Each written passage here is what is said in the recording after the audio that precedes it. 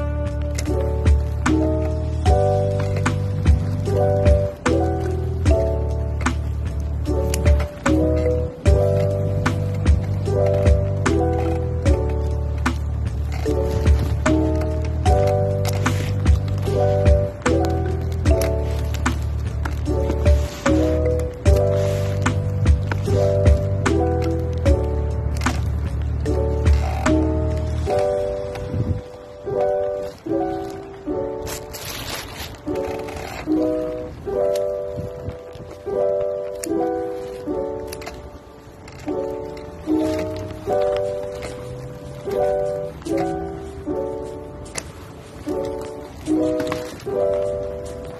you.